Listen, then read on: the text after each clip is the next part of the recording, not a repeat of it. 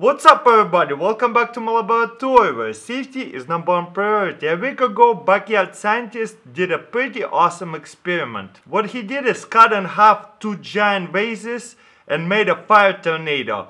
But cutting glass is kinda difficult and also it will crack easily. So I'm going to try to simplify that experiment and try to make it with a giant plastic water bottle, you know those 10 liters water bottle or giant jar, water jar and see if it's going to work the same or not. Let's get to it. Bottom is open, so all I have to do is pretty much just cut it in half. I might just do a little bigger opening here.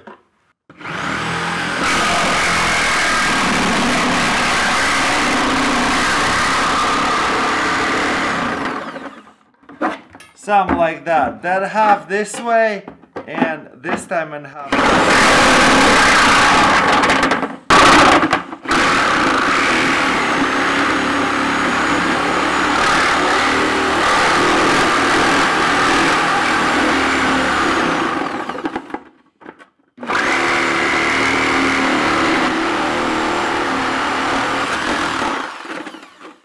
I guess that works. Boom. And we cut that in half.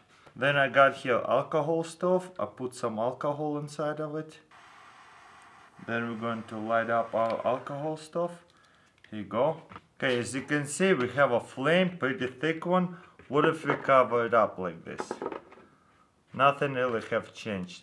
But what if we slide this a little bit? See what happens. You see how the flame turning around, turning around, and boom, we got a fire tornado. So awesome. Let me turn off the lights. This is so much easier to do fire tornado with just plastic jar. But you see, you gotta have it wide enough to where it's not going to melt it. And I wouldn't just set it in a house and leave it because, you know, it might set on fire. This is just as an experiment. Boom, look at that. Beautiful fire tornado. And now if we're going to put these jars together, this is just like going up regularly. Now again, we're going to slide it a little bit. Just an inch.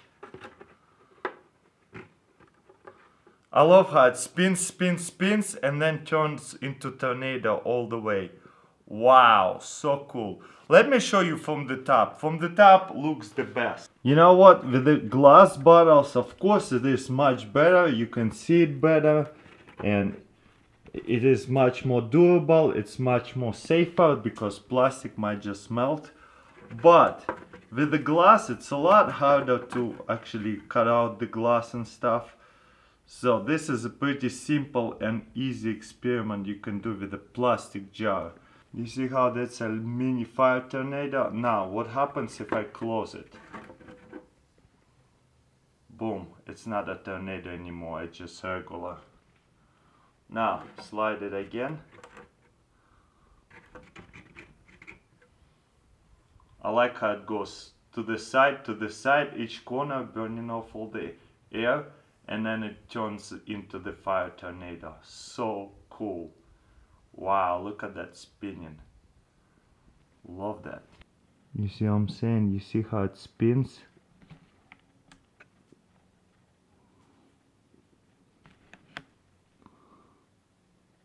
Beautiful.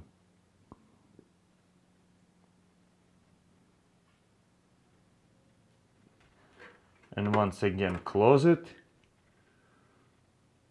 boom. It's not spinning anymore. And the flame not a stall anymore. Really cool experiment